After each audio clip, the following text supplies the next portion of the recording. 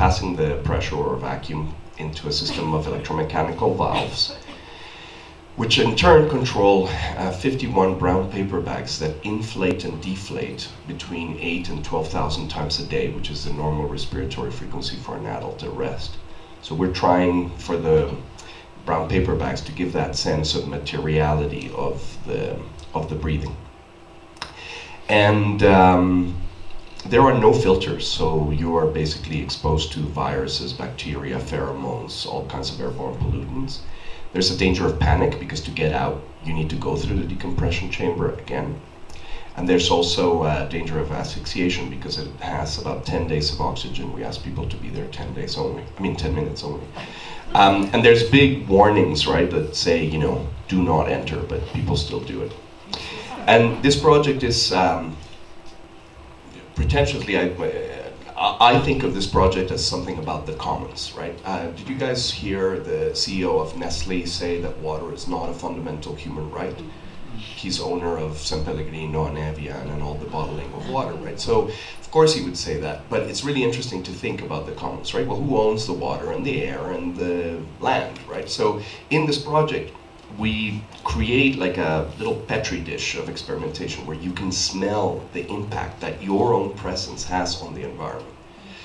So it's, like I said, it's pretty gross. I, I actually did go one time. Um, the, the, there's one more point about that. What did I want to tell you about this? Um, so it's gross. Well, anyway, on the subject of participation, myself and other artists that work with participation, we always speak about participation as something very positive. You know, it's like, ah, you know, you'll have agency and the public will have the scale of the urban space and so on and so forth. In this piece, it's a little different. If you participate too much, you die. So it's a perversion of the concept of participation. Some more projects. This one's um, hundreds of thousands of numbers extracted from Google Street View, and they're presented at random. And then when you walk in, the tracking system detects you and puts your silhouette. And inside of your silhouette, all the numbers count down to 1984. So, and then if you walk away, they go back to random.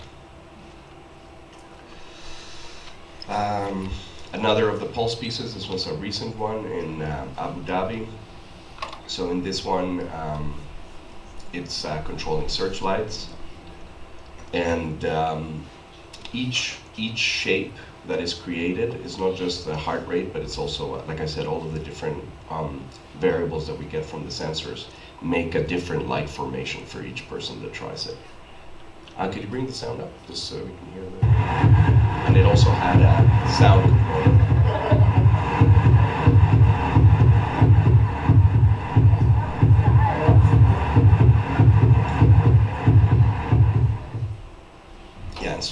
Um, um, as you may know, three years ago, the Mexican government uh, kidnapped 43 students from Iguala in Guerrero, Ayotzinapa. And this is a project, it's not really an artwork, it's more like a activist strategy. It's a camera that is always looking for the students. So when you stand in front of it, it analyzes your facial features using police and military technology and it compares you to the database of the 43 students that have not been found as of yet. And the system tries to see if you're one of them or who you look like the most. And so it says, okay, based on your facial features, you look most like Martin Getsemani Garcia. But then it gives you a level of confidence. The tracking system says, we are confident 17%. In other words, the result is student not found. And the idea with this project is that it's completely free. Anybody can download it from our webpage. You supply a, a webcam, a display, and a computer, and you can set it up. So the project has been set up so far in 45 museums and universities and foundations around the world. And of course, the project is not going to find the students because likely they were massacred. Um, according to the official story, the Mexican police gave the kids to the Guerreros Unidos drug cartel and they disappeared them, but there's no forensic evidence that that happened, so the family members are still looking for them. But this project is in, in, in instead you know, about the creationship of more fraternal links, you know, the idea that these are not just some kids that happened, but that this is us, that you can be next that this relationship of likeness is not others, but is you yourself. So it's on the one hand that, on the other hand is to keep the search alive, so this project will keep on searching for them forever. And then on the other hand is to generate income, because every time we show this piece, or if we sell it or whatever, the entire, um, the entire proceeds go to the affected community. So these kids that were 17 to 21 year olds, um, you know, some left some orphans, uh, there's other students and so on. So we're supporting the community through the project itself. We've generated so far $70,000. Um, and, um, and there's one more element about this project. Um, when I did this project in Canada, so I'm based in Montreal, right? And um, the CBC came and said, oh, you know, the situation in Mexico is very dire. And I said, yes, it's very dire. But now we're working with the same software with Aboriginal programmers to make a version of this project that doesn't look for the 43 Ayotzinapa students, but to look for the over 1,000 Aboriginal women that have been missing and disappeared in Canada in the past five, ten years. So the idea, the idea of this project is that the source code is open, that anybody can reuse it for their own search.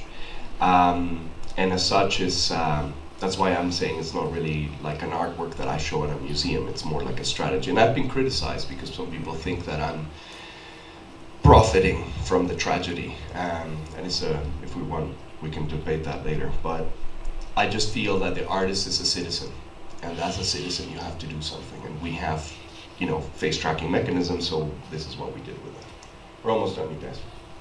Um, this is a uh, water fountain um, which writes poetry with water, with water vapor in midair. So for the first version of it, we're using the poetry of Octavio Paz, a Mexican poet, who spoke about the moment where poetry is recited and it becomes the atmosphere, and then we can breathe it in. Um, and um, here's how it works. You look down at it, and then it starts writing the texts. And then the text disappear, and it's, it's very slow. So at my studio, we're working a lot with water now because we think um, water is the light of day. We are animating water in ways that we think is critical or poetic. We think that um, fountain technology is very powerful and not many people are doing substantially interesting stuff with it. So anyway, that kind of deal. Um, I do commissions, so for example, this is a building that is on Ejército Nacional and Periférico in Mexico City, and the proposal is to create a, a, media facade like we're seeing everywhere. I go around the world criticizing the way that we're illuminating our buildings. I really detest color changing lights. There is absolutely no reason for a building to be cyan and then magenta and then emerald green. There's no reason. And this is sadly happening across the world. They call it architainment. And I really have a flag against this, right? Because it's homogenizing our city. So if you've ever been to Istanbul, Istanbul had beautiful lighting scheme, and uh, Philips just put $10 million worth of color changing lights in one of the Bosphorus bridges, and it just changes, and it looks like, you know, like Las Vegas. I, I like it in Las Vegas, but don't bring that to Istanbul, right? And the sad thing is that people like it. So people want these color changing lights. I think there's a big responsibility for lighting designers. If you're going to use light and pollute the night, you need to use it for a reason. You need to create something that's going to be memorable or it's going to be a contribution. In the particular example here, in this building, uh, it's in a very polluted area. And um, so what I defend is eccentricity. I defend the capability for artists to make something that is um, a bad idea. And so what we're going to do is we're going to put LEDs on all the mullions and all the columns uh, between the lights, uh, between the windows. And at night, this is what's going to happen. And uh, bless his heart, the developer accepted. Um, it's basically like an iris scanner. You go and look at it at the building, and then your eye becomes part of the facade. But I'm telling you, it's very, very unlikely you will forget this building.